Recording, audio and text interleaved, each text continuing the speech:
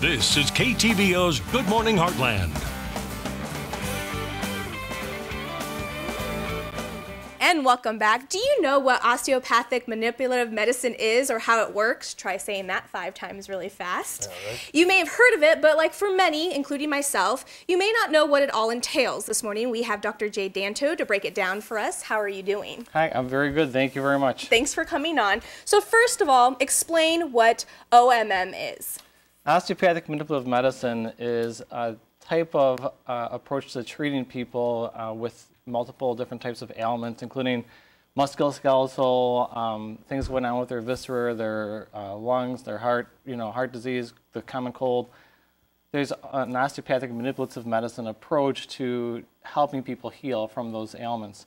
It's been around for over 100 years and it originated right here in Kirksville, Missouri, Mm-hmm. with Andrew Taylor Still being the founder of the osteopathic profession and the founder of our Kirksville College of Osteopathic Medicine, A.T. Still University School. There you go. And so we have Scott here that you're actually going to um, perform OMM, correct? So what what what can somebody expect if they come and get this done? Well, with any osteopathic treatment, the first thing we want to do is we want to look and uh, we, we talk to a person, we get a history just like any other doctor visit, and then we look at uh, the musculoskeletal system. And the best finding for our perspective is um, to see something that matches up with the patient's complaints. Okay. If we can find something, if somebody was complaining of, um, you know, coughing a lot, and we found something in the ribs or in the thoracic area, Okay. that would be something we could treat and potentially help go away through a manipulative intervention.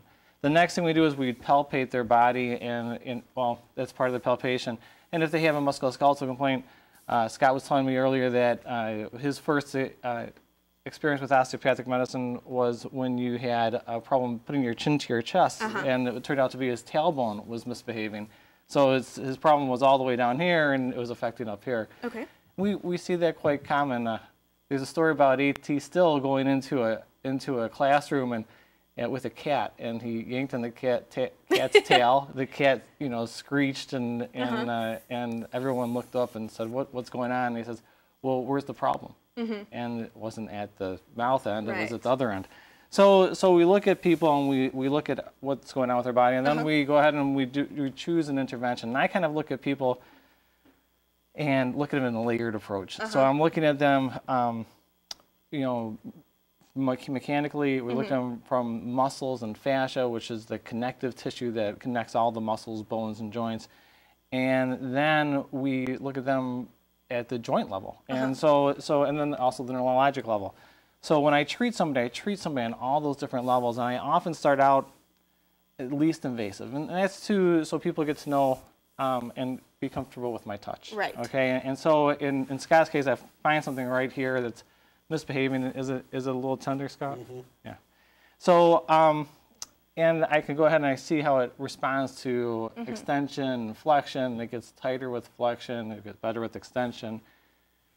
Side bending gets better side bending this way. So, I, and and what we can do is, and we can see rotation. It likes to rotate the same way. So it's it's it's pretty. If I position it in all those different positions, and then look at things like translation and anterior and posterior, I can put in that position. I can say, take a deep breath in, and exhale. Take a deep breath in and hold it in, and I can put in a position which it likes to be. Okay. And what that does is it allows the muscles, the fascia, the nerves all to reset. And uh, why that's going on, I can tell my patients a story, but you know, Right. You know, so you, you let all those things reset, and you're holding, you're doing a good job for holding your breath. Were you, were you a swimmer or something? No. All right. So you, you have people uh, um, hold hold their breath, and you, you position them, and everything resets. And then when you take it, when they're ready and they exhale, and you can exhale, um, they they you can reassess and see if that what kind of change that made. And if it made a great change, awesome. And you know that affects people mechanically. It affects them at the muscles, the fascia, Right. at the joint level. Okay, and then you can sit there and maybe go into something a little bit more. Um, deeper and Right. everyone who leaves my office I, I try to have them leave perfect and perfect means there's no restriction at all so we look at them and and their joints should be free moving. Mm-hmm. So there's a little bit of something still. Right. here. So I would say go So ahead and, and work on it. lay in your back, for instance. And So speaking of treatment, now can this be done on anybody, or is there like you know, it does it you know, is there a certain age that you start you know doing this, or like if something wrong with kids, can they come in, or is it for people my age, older people? What's what's the requirement when it comes to that? Well, when we first started treating people, um, I mean, it can be done on anybody, to answer your question. And because we can do so many different types of treatment, uh, there's a, a lot of things we can do uh, that are specific for the patient. Like in Scott's case, we started off with something that looked at things from an indirect treatment, uh, uh, not um, invasive at all. And now I'm looking at something that's going to work more on the thrusting, like uh, you know, the snap crackle pop Right. that a lot of people receive at doctors' offices. And in this type of approach, um, we want to make sure that we, uh, uh, you know, age appropriate. I wouldn't want to do something on somebody who has Mm-hmm. Right. osteoporosis, where I could possibly fracture a bone, or in somebody that was very, very young, um, you know, like a baby. But there's other treatments that we do on babies all the time that works tremendously well and helps them out. So another question I Mm-hmm. have before we have to wrap it up is, um, how long can somebody expect this session to last when they come see you or another doctor that performs this? It depends. It depends. it depends on Yes. what they're getting done. and and it um, if if it's something and, and everyone has their different specialties that's one of the nice things about the Gutensohn clinic where I work and that already released I didn't even have to barely do anything because of the, what I, did before that. It So- literally just went.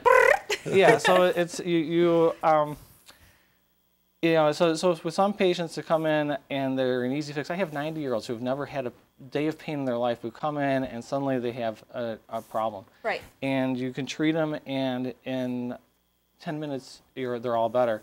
I have people who are in their 20s and they come in and i have to spend a half an hour working to try and get the, the musculoskeletal system to work correctly.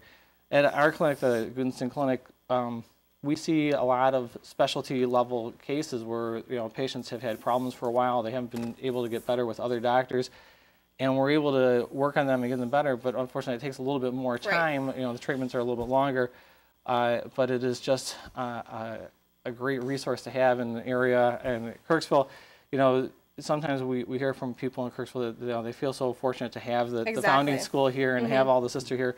But at the school, we know it's the other way around. We feel so fortunate to be here in Northeast Missouri and know that we're able to perform a service and we have great patients. So. All right. Well, thank you so much for your time. And what we'll do is we'll post all of this on our website at heartlandconnection.com as well as Dr. Danto's information, and we'll be right back.